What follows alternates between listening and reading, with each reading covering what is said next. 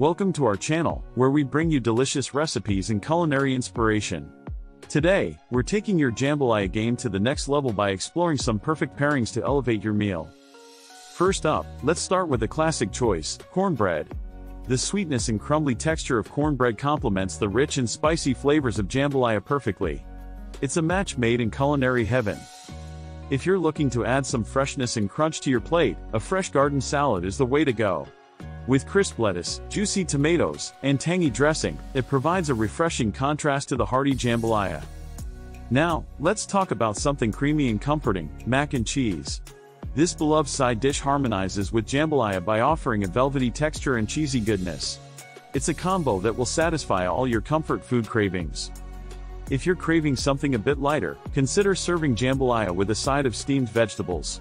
Broccoli, carrots, and bell peppers add both color and nutrients, creating a well-balanced and nutritious meal. For those who want to kick up the heat a notch, why not add some jalapeno cornbread?